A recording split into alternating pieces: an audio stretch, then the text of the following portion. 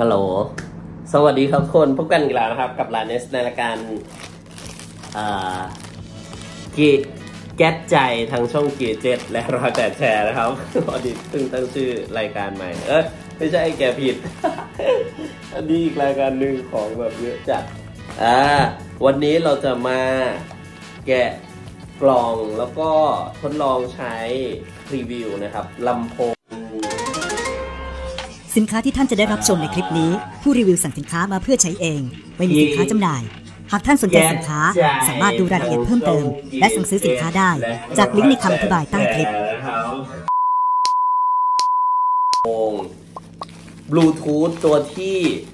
85 ล้าน แบบว่าซื้อมาทำไมนะแต่ว่ามันควรค่าแก่การซื้อมากนะครับ เพราะว่ามันเป็นราคาแบบ Early Bird เนาะเขาเรียกใช่ไหมราคาแบบ Early Bird ก็คืออถูกกว่า ถูกกว่า ราคาเปิดตัวจะถูกกว่าแบบ ถูกกว่าหลังจากที่แบบจำหน่ายไปแล้ว เออจำหน่ายแล้วอย่างเป็นทางการอะไรอย่างนี้นะครับ แล้วก็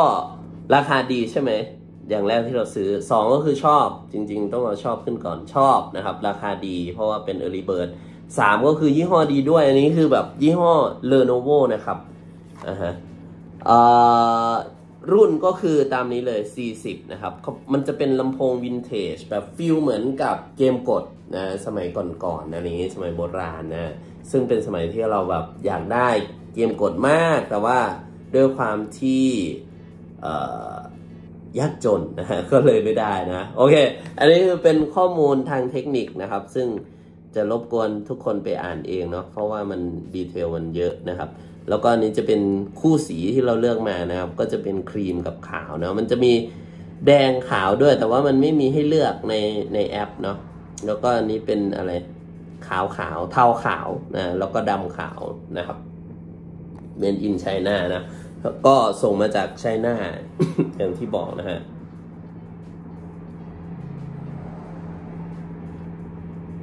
อะแล้วก็มีข้อมูลฝั่งนี้นะครับเขาบอกว่า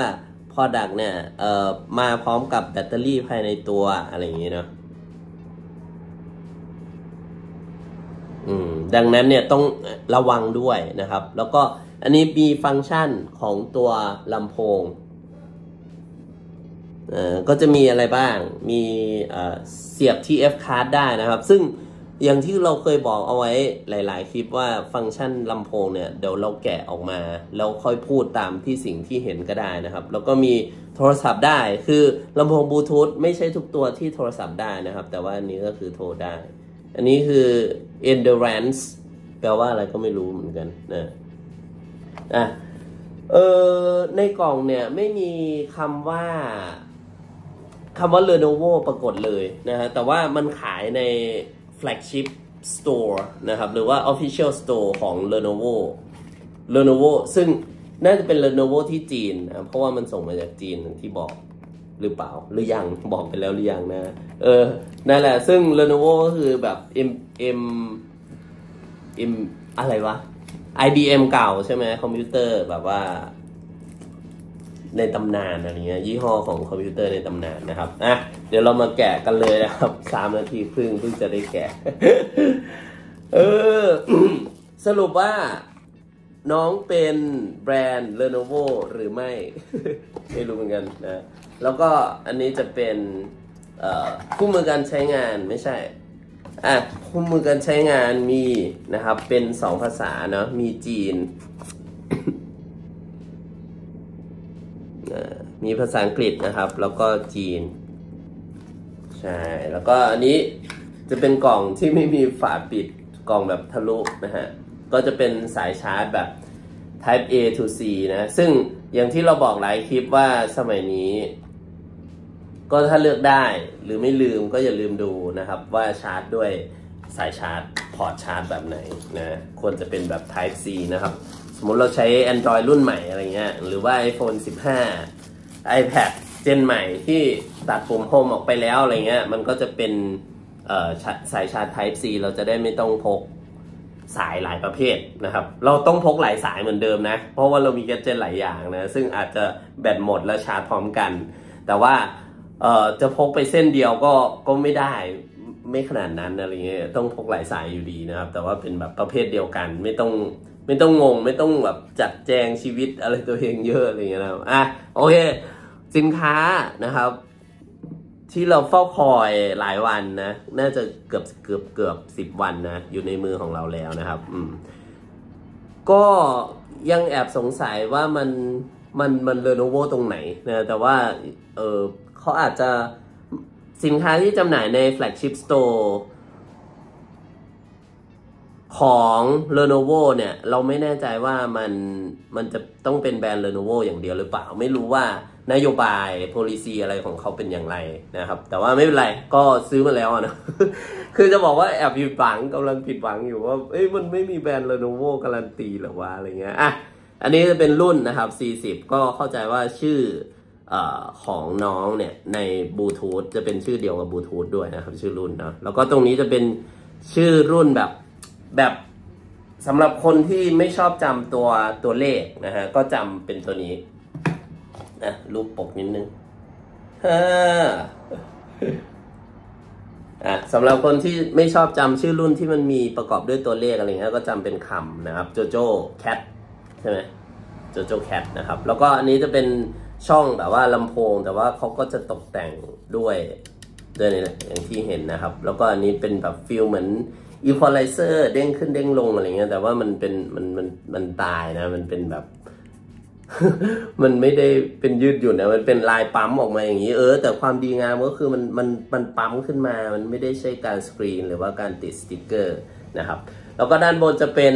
ปุ่มควบคุมต่างๆนะครับ ไม่ว่าจะเป็นปุ่มเปิดเนาะปุ่มเอ่อเล่นหยุดแล้วก็วางสาย น่าจะหมายถึงรับสายด้วยนะครับ ปุ่มเอ่ออันนี้น่าจะก่อนหน้านะครับ ย้อนหลังแล้วก็ปุ่มเสียงนะครับ อันนี้เป็นปุ่มเพิ่มลดเสียงเขาจะแยกออกมาให้ต่างหากนะปกติเราจะต้องมากดปุ่มเพิ่มหรือปุ่มลดเสียง เอ้ยไม่ใช่ กดปุ่มถัดไปกับปุ่มก่อนหน้าค้างอะไรเงี้ย เพิ่มเพิ่มหรือลดเสียงใช่ไหมอันนั้คือแบบว่าปกติ แต่อันนี้คือแบบมีปุ่มเพิ่ม หรือลดเสียงแยกมาให้นะครับ แต่ว่า มันมันมีขีดจำกัดนะ คือหมุนไปเรื่อย ๆ มันก็จะหยุด มันก็จะตึงๆมือก็คือสุดแล้วอ่าอ่ามันมันไม่เหมือนกับหลายๆแกดเจ็ตที่เราเห็นก็คือหมุนไปเรื่อยๆ คือสุดไม่สุดเนี่ยต้องมีหน้าจอเอ่อแสดงผลให้ดูอะไรเงี้ยนะฮะมีเอาพุตมีมีจอให้ดูอะเออแล้วก็ด้านล่างด้านล่างจะเป็นแบบนิ่มๆเหมือนเดิมนะครับ ก็คือแบบ การกระแทก การมันสั่น การมันเลื่อนอะไรเงี้ย เพราะว่าลำโพงที่คุณภาพดีหลายตัวก็จะมีแรงสั่นสะเทือนสูงเวลาที่เล่นเวลาที่ใช้งานเปิดเพลงนะครับ แล้วก็ด้านหลังนะจะเป็นช่องเสียบ Type C นะครับสำหรับการชาร์จเนาะแล้วก็เป็นช่องเสียบเอ่อ micro SD card นะครับก็คือ SD card ขนาดขนาดไมโครขนาดเล็ก แล้วก็อันนี้เป็นเขาเรียกอะไรเป็นแบบเอะไร sub bass นะ sub bass มันจะมีอีกชื่อหนึ่งก็คือ passive radiator เราไม่รู้ว่ามันเหมือนหรือต่างกันอย่างไรนะครับ แต่ว่ามันมีเอาไว้ เพราะว่า เออคือคือลำโพงเนี่ย มันมันจะทำงานโดยการแบบยื่นยื่นออกแล้วก็เข้าอย่างนี้ใช่ไหมครับ ตามตามเออเราไม่รู้เหมือนกันนะหลักการทำงานที่แท้จริงของมันคืออะไร ถ้าถ้ารับสัญญาณผ่านบลูทูธมา มันก็จะแปลงบลูทูธเป็นพลังงานนะพลังงานดังอ่อพลังงานดัง ๆ ก็คือลำโพงมันก็จะแบบว่าเออเด้งออกมามากอะไรเงี้ยนะครับลำโพงไม่ดังก็คือเด้งเข้าไปน้อย เออ เด้งเด้งน้อยอะไรเงี้ย แต่ว่าทุกๆการเด้งมันก็คือจะมีลมเกิดขึ้นนะครับ ลำโพงเนี่ยหลายๆ ตัวที่ดีนะครับ มันก็จะต้องมีรูให้ระบายลมดังกล่าวนะ แต่ว่าถ้าจะให้แบบดูดูดูมีแวลูมโวลุ่มดูมีโวลุ่มดูมีมูลค่ามากขึ้นกว่านั้น เขาก็จะทำเป็นตัวนี้ขึ้นมานะครับ ซึ่งมันก็สามารถ เด้งเข้าเด้งออกได้โดยไม่ต้องทำรูให้กับลำโพง เพราะว่ารูเนี่ยอาจจะนำพาซึ่งมาลงมาแรงมดมดอะไรต่างๆ มันจะไต่เข้าไปแล้วก็ไปกัดสายฟงสายไฟอะไรเงี้ย เออนะอันนี้คือความความวิเคราะห์นะฮะจากจากประสบการณ์จากเอ่อมันสมองสติปัญญาที่เรามีนะเออส่วนตัวนะครับดุลดุลพินิษส่วนตัวของเราอะไรเงี้ยผิดถูกก็ต้องขออภัยด้วยนะครับ โอเค แล้วก็ตรงนี้ไม่ไม่มีอะไรเป็นแค่แบบว่าการตกแต่งนี่นั่นต่างๆ เป็นอีโมจิเป็นลายเส้นอะไรอย่างนี้นะโอเค เดี๋ยวเราจะมาลองเปิดเครื่องแล้วก็ทดลองเสียงกัน ก็เปิดเครื่องเหมือนเดิมกดค้าง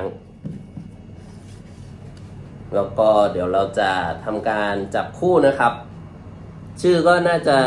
40 โจโจแคปอะไรอย่างนี้นะ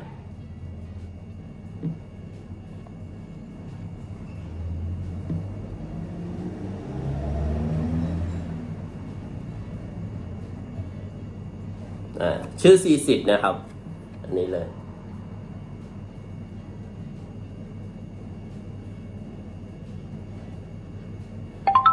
โอเค เชื่อมต่อแล้วนะครับ เดี๋ยวเราเร่งเสียงสุดไว้เลยนะ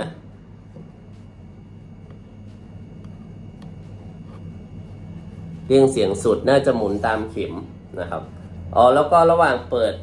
บลูทูธมันจะมีไฟสีน้ำเงิน แสดงออกมาตรงนี้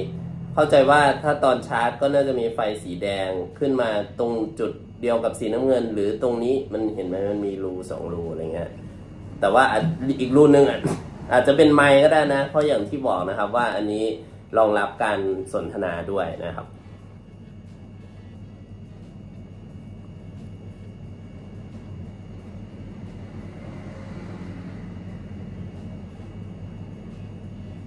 many times have I felt this good?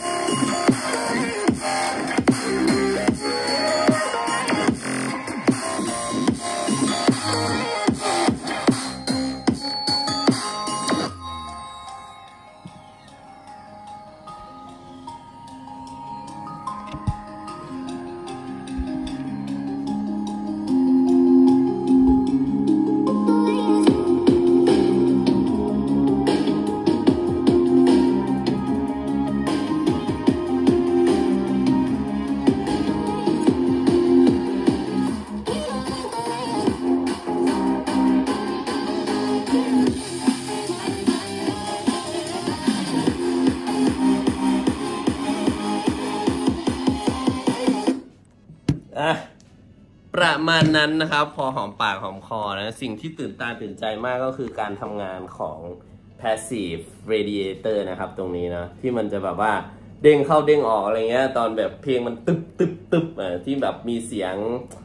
เอ่อสแนร์ไม่ใช่สแนร์ไอ้กองกองตัวใหญ่ที่เหยียบเอาอะมันเรียกว่าอะไร